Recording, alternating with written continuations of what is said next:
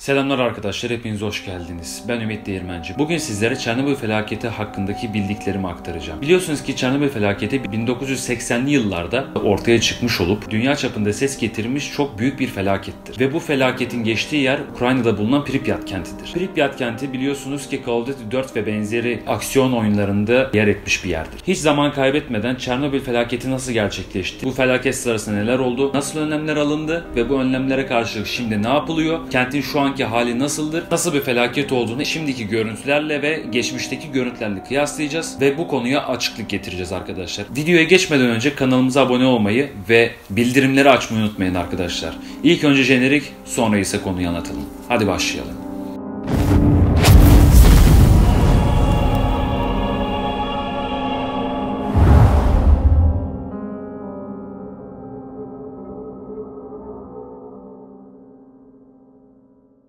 Çernobil felaketi 26 Nisan 1986 tarihinde Ukrayna'nın Pripyat şehrinde gerçekleşen nükleer bir kazadır. Sovyetler Birliği'nde bulunan Çernobil nükleer güç santralinde yaşanan bu felaket tarihin en kötü nükleer kazalarından biri olarak kaydedilmiştir. Mayıs ayı başlarında 120 bine yakın insan Çernobil'in etrafındaki yaklaşık Gaziantep büyüklüğündeki Çernobil yasaklı bölgesinden tahliye edildi. Bu alan günümüzde de terk edilmiş durumda. Kazanın nedeni bir reaktörün çekirdek bölgesindeki bir patlamadır. Patlama birçok insanın ölümüne, radyasyon maruziyetine ve uzun vadeli sağlık sorunlarına neden oldu.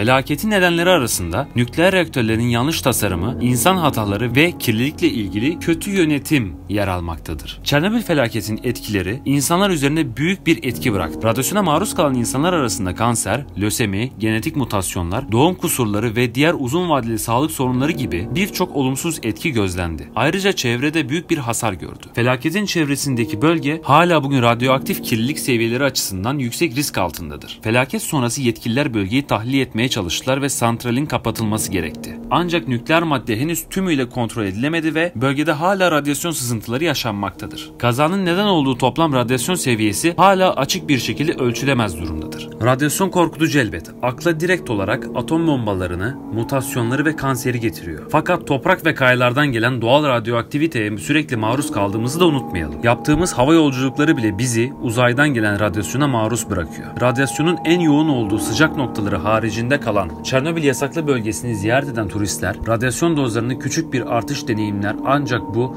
Ukrayna uçuşlarında aldıkları kozmik radyasyon dozuna benzer bir miktardadır. Yani Çernobil yasaklı bölgesi ziyaretçiler sağduyulu davrandığı sürece bir şekilde bağlı olarak son derece güvenlidir. Orada yaşayan bitkiler ve hayvanlar bölgeyi ziyaret eden turistlerden daha yüksek dozda radyasyona maruz kalmakta. Radyasyonun Çernobil yasaklı bölgesinde doğal hayatı olan etkileri tartışmalı bir konu. Kazadan hemen sonra kaydedilen radyasyon seviyeleri şimdikinden 100 kat daha büyüktü ve bölgeye kalıcı hasarlar vermişti. En çok bilinen çam ağaçlarının öldürmeye yetecek kadar radyasyon alan 4 ila 6 kilometrelik bir alandı. Bölgedeki çam ağaçlarının iğneleri kırmızımsı turuncuya dönüştüğü için Sovyet bilim insanları bölgeye Kızıl Orman adını verdiler. Çernobil'in radyasyon seviyeleri artık çok daha düşük, birçok nadir türün de dahil olduğu büyük vahşi bir popülasyona ev sahipliği yapmakta. Bu gelişmelere rağmen çoğu çalışmada doğal hayat üzerinde fazla göze çarpmayan bazı etkilere rastlanmış. Buna Kızıl Orman'a dahil. Ama biliyoruz ki bu yüksek orandaki kirlenmiş bölge 1986'da verilen hasardan tam olarak iyileşemedi. Şu anda Kızıl Orman'da gözlemlenen etkilerin mevcut radyasyon oranlarından mı yoksa 1986'da çok daha yüksek dozda olan radyasyon kalıntılarının etkisinden mi yoksa habitatın düşük kalitesinden mi kaynaklandığı henüz bilinmiyor. Ama 30 yılı aşkın bir süredir insan faaliyetlerinin gayri resmi yokluğu nedeniyle Çernobil doğal hayatının büyük çoğunluğunu her geçen gün geliştiriyor ve iyileştiriyor.